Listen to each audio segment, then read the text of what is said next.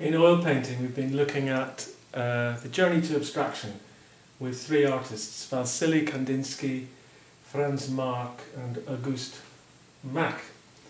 And this is an image based loosely on ideas from Marc. And it's around this time when these artists were experimenting with uh, realism that's becoming abstract. So it's not completely abstract, but it is, it is, there are elements there that are going that way. And I was hoping we could combine this with colour theory and the idea that um, opposite colours darken. So yellow and violet red, for example, or orange red and blue yellow. When you mix these incrementally, a little bit of that in here makes this, a little bit of that in here makes that, and so on. And you can do that with um, so that's a watercolour one, you can do it with oils and make a chart like this. And I tried to make this chart with orange and blue and base some of my ideas uh, around orange and blue, red and green, or pink and green also, and yellow and violet combinations. So I've got this um, uh, theory which I'm trying to put into practice with colour, and it all comes from the colour wheel where you have originally the three primary colours, then secondary colours, and all the mixtures that lie in between. And anywhere opposite on the colour wheel, we find complementary pairs that will make, can be mixed to darken colour. Another element to the colour wheel is um, a pair of colour, uh, primary colours, and their products make what's known as harmon harmonious colours. So uh, blue and red and all the violets and uh, yellow and red and all the oranges and yellow and green, blue and all the greens. So there'll be elements of harmonious colour and elements of uh, complementary colours. It means on the palette the discipline of keeping these colours separate from each other. So this is my palette and I'm trying to keep these colours from not getting muddy not becoming muddy, keeping them little mixtures separate, not using any water. This is these are artisan um, colours. So I've got brushes, separate brushes, more or less one for each uh, colour. And I was interested in the greens that the blue greens that could work around this um, red orange um, here, so I've got a little bit more of a blue-green, for example. I drew these pigs out and then divided the drawing up into segments or sections with sort of curving shapes, um, not really based on any regular pattern, trying to avoid, uh, I suppose, symmetry or repetition as well. I've got this, these slight variations on blue-green, so I'm going to try. So I'm not going to, deliberately trying to not repeat uh, a colour. So each, each time I put down a colour, I'm hoping it won't be like a colour, it's not quite like any colour anywhere else. So yellow and blue, that would make a very light sort of yellow-green, lots of white in that. This is quite a neat way of painting, I suppose. Not, not. Uh, I don't mean um, uh, fashionable. I meant um, careful. I suppose it's careful in that you're placing colour, a specific colour in one place, and leaving it. Uh, not doing very much blending. So any mixing that occurs is mixing in the eye from a distance. Let's have a look at this. So this animal I was painting with permanent rose and ultramarine and white. Um, and that gives a series of pinks and mauves. And again, if I try not to make the colour the same, so I'm looking at variety in either blue or warm blue, which is ultramarine, and a little bit of um, permanent rose, that makes an opposite colour. Just trying to draw into that with the filbert brush for the orange. Because blue and orange are complementaries, so vaguely blue and um, or mauve blue and orange are also uh, complementary colours. Discipline then, keeping the brushes separate, that's a challenge for this uh, process. And having brushes that sort of the right size too, that will work into smaller spaces like this. Um, so permanent rose. It's quite a deliberate process on the palette deciding what to mix and where to put the colour. And a little bit of pink colour there. Bright pink and possibly there too, although that's got a little bit of blue dragged up into it.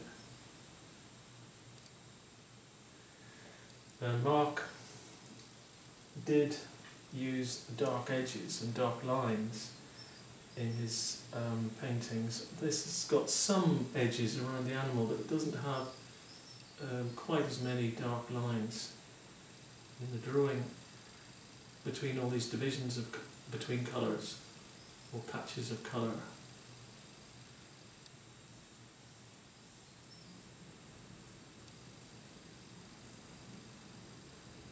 So that's meant to be a little bit darker perhaps there. That's that's rather similar to another area there, so I might try and put that colour in there. Let's make it a bit different to the surrounding colours. Compared with the surrounding colours. Um, so this is gradually, gradually taking shape.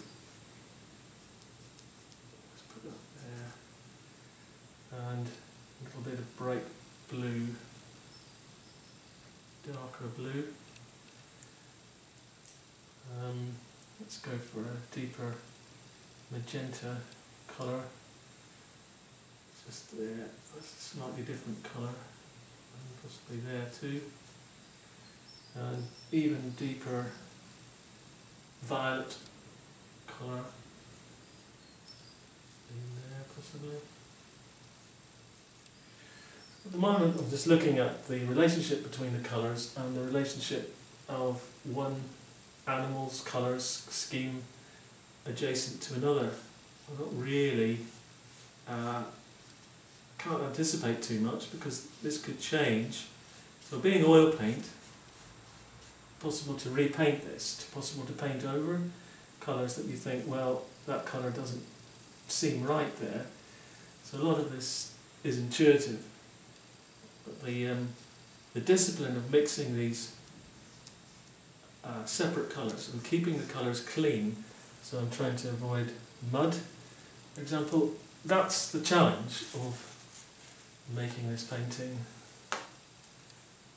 as well as investigating colour theory. Blue, green, it's going to be blue, green up there. So I've looked at Franz Marc's paintings, I've looked at Auguste Macke's paintings, and I liked um, this image of uh, by Mac and all these shapes that he's used behind here. And that, I think that's why I've drawn these sort of semicircular umbrella shapes in the background.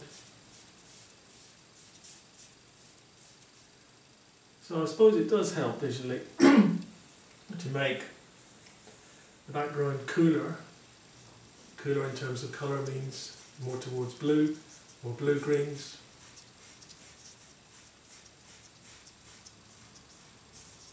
Another little bit of blue green. See if I can change that. So I'm just altering this colour with the one brush as I'm going. See if I can paint into these remaining shapes and keep the colour pure, but also altered, not the same, so it's not, not quite the same as what was there before, or rather not quite the same as its neighbours, not quite the same. Colour, ultramarine blue and cerulean blue mixed together with a tiny bit of yellow. That is something that would complement orange quite well.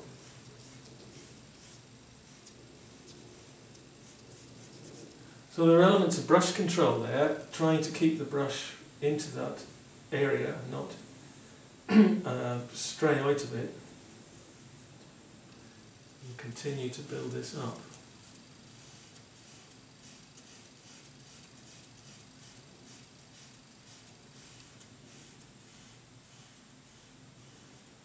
Redraw that shape a little bit while I get the opportunity. That's the great thing about oil paint is the chance to redraw, re repaint even, repaint this little area. Use the paint thickly, just use the brush gently to build that up. So refining the the drawing of that foot. Let's see if I can paint into some other shapes. So that foot, the trotter, just comes in there somewhere.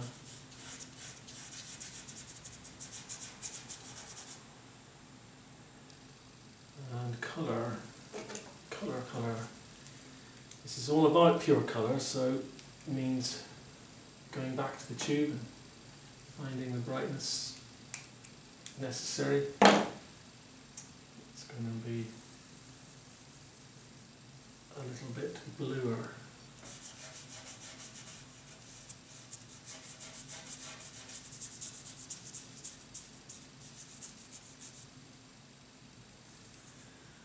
And bluer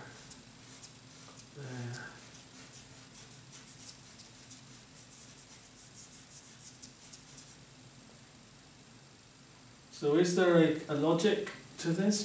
Perhaps in only in the sense of trying to not to put the same colour next to another colour so that the colours are different from their neighbours.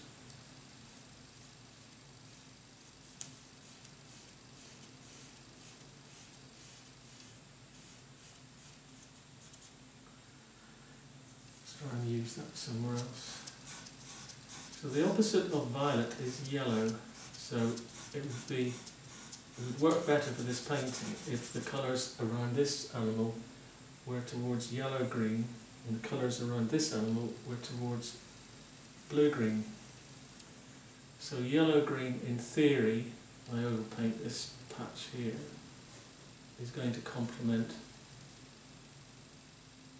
a mauve, purple, better than something that's rather harmonious to it, which is that, that, colour that was there.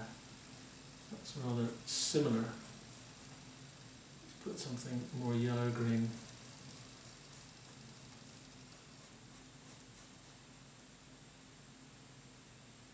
into those little negative shapes.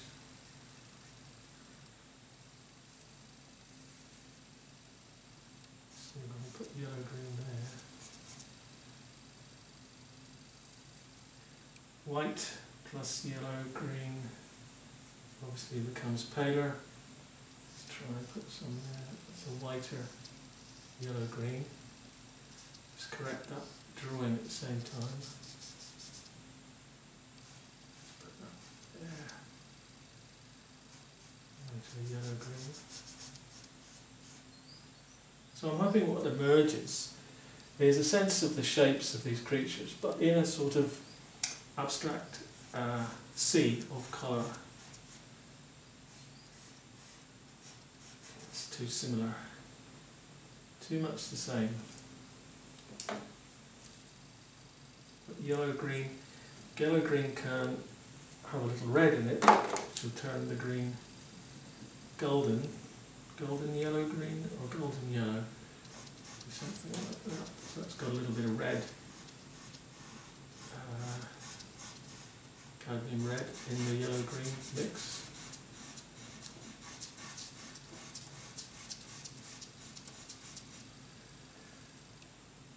Separate brush back to something a little bit darker.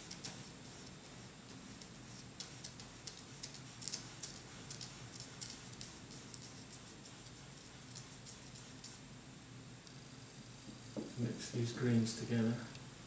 Look at that little patch there. Very light pressure on the brush.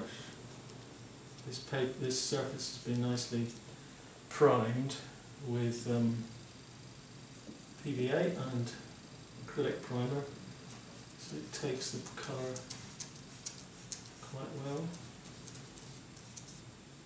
I suppose these are vaguely landscape colours.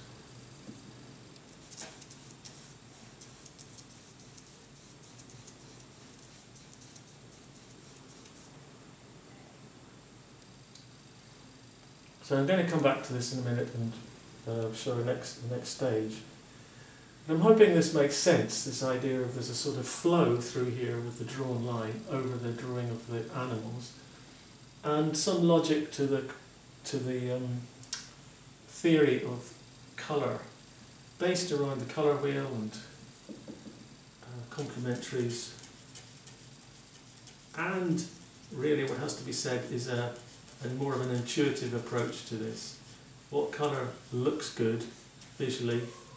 What colour do you feel looks good next to the colour you just put on there? And if it's not, it doesn't seem right, then the great thing about oil paint is you can change it. You can paint it over, build it up. In all of this, the colours, I'm still, hopefully, I am trying to keep to colours that are